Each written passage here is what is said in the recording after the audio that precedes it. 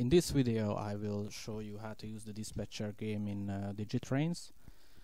So let's start the program and uh, the first step always before we uh, make a layout uh, actually is to check the accessories in the accessory menu. Uh, we will do this uh, this layout with these two stations. If you touch the pencil icon on the top right then you can go to the to the editor mode and now we will make a new layout. Uh, you, you can make a new layout with this four small rectangle icon.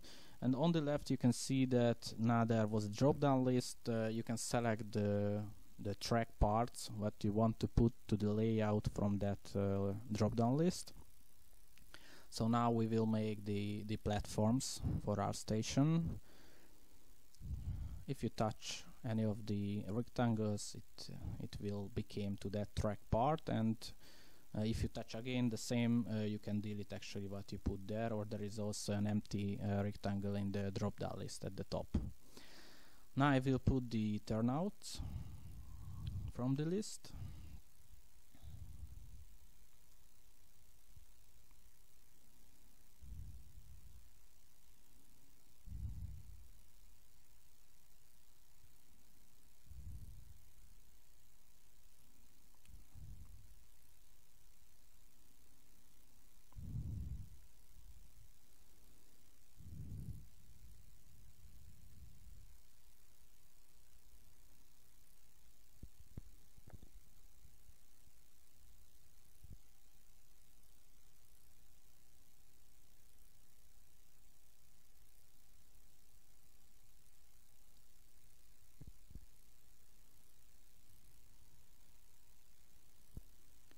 okay I will just make the video faster and we will do the other station with uh, two platforms.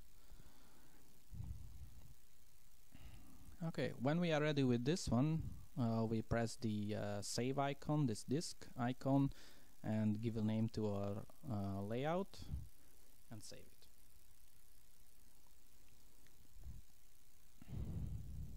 Okay, now we will put the accessories to our layout. If you long touch any of the uh, the rectangles, you can you can uh, match an accessory to this part of the layout. This is an important part here. Here is the reverse accessory status.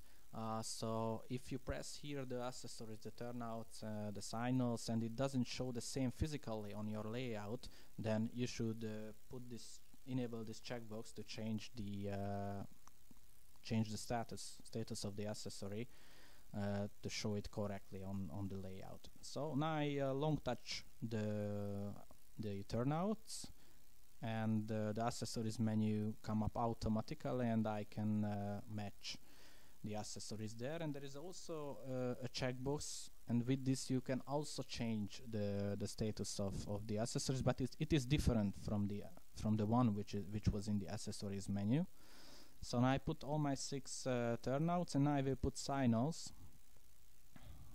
Also long touch any part of the layout and then select uh, one of the signals from this list. And uh, for the signals you can also also select the the direction uh, of the uh, of the signal, so it will help you to to see uh, the signal position and where it is directed actually. Okay, I have six signals uh, at this two platform station. These signals are uh, two uh, with two lights, so it can be green or red. Okay, I save the layout, and now I will choose from the drop-down list this uh, blue button. And these, actually, these points are the start and the end points of of the route. So I will now put uh, these buttons long touch any of them and then short touch the other one. It will select actually the start and end point of a route and then you can select um, the route on your layout. Actually if it is selected it will be green. So when you will later select any of these routes, it will be colorized on this screen. So it will help you to see the uh, the route which is selected. If you long touch uh, any of the accessories during the selection of a route then uh, it will change the status. So that that is how you can uh, set uh, for example the turnout status. So you need to see a long touch and then it changes to curved. Um, uh, you need to to set the layout uh, from from both direction uh, I mean the route from both direction because maybe it, on some stations it can be different and also if you have signals uh, they will be different and you will see it at the bottom station at the, the two platform station. And one more important thing that I usually don't select the start point for a route but I select the end point for the route. Um, this is good so you cannot uh, uh, send two trains uh, uh from uh, opposite to each other to the same track for example. Uh, but you can you can make make one route from two routes actually if you want a train to go through the station and not to stop so you can set both ends actually. uh, for the station. So uh, now let's see the bottom part. Uh, as you can see uh, with the long touches I also select the, the status of the of the signals. And there is one important thing that now it is red. So the bottom signal was red and now you will see that the top signal I will select red for this other route. And it is because uh, if you touch once any of the rectangles it will be uh, with a green rectangle. It means it is selected for a route uh, but if you touch it again it will be red rectangle. So that means that it is uh, not belonging for the route so the track itself will not be green. But the accessory which is on that rectangle must uh, must be changed. And uh, it will be changed for the status what you set here. So with the with the long touch you can set the status of the of the signals so as you can see you can prevent another train from the other um, platform to go out when the route is selected for the other platform. And also the other signal which is uh, outside of the station will show red so no train will come from that direction. So it's just a little automatization actually to have for the dispatcher. Okay now we'll make the video faster again so I will do actually the same on the other part of my station. I do the same with the signals. Always one is green only the others are red.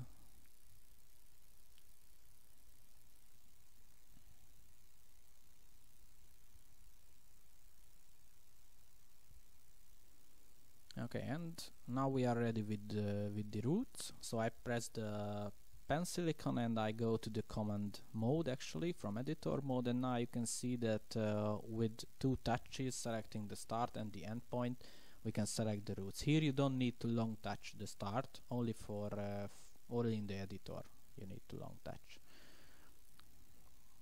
Okay and you can see that the sign is also changing automatically. Uh, if the advanced logic mode uh, it's the icon beside the i the information icon actually is uh, switched on then uh, you cannot uh, select routes which are uh, crossing each other for example and also it's the same if uh, if you have occupancy detectors and and if a track is occupied you cannot send a train there. On the bottom right on the screen there is a green button and there is a turnout button. The green button with the green button you can uh, release the routes uh, with double press uh, and with a single press pressing it and when you select the endpoint of a route you can release only that one route which you press actually the end endpoint okay? And the other the turnout icon is good for uh, to change any of the accessories like turnouts and signals so you need to uh, press that button and and in this time you need to press also a signal or uh, turnout it's quite complicated but uh, if you press the i uh, the information icon then you can you can just uh, check out the documentation uh, and see the details Okay, uh, this is uh, for the blocks, this icon. So you can put these block icons as many as many block you have. And then when you long touch a block icon, you can select the the block actually with with red and then when you press the save button um, you you can uh, give the address of the occupancy feedback detector and also which input you use on it. So I use the uh, address 1 occupancy detector and now this uh, platform is the input input 2. This will be the input 3. so to select any of the of the blocks long touch any of these uh, block icons and then with uh, touches you can select the block and then set uh, set an address. Okay now we go back to the command mode and actually if you have uh, tracks on on these platforms on these blocks then it will be reported to Digitrains and it will colorize to red uh, that blocks. Okay and I will show that how easy to uh, control two or more trains from a tablet for example. Um, you just uh, control them changing the speed and then with a touch you can go to the dispatcher game and uh, select the routes to go into the platforms go back to the trains and stop them when they are arriving uh, this is also available on phones of course so I mean the dispatcher dispatcher game is available on phones as well for more information, please visit uh, Digitrains app on Google Plus or Facebook. You can find also documentations there, and uh, you can download the the application from the Google Play.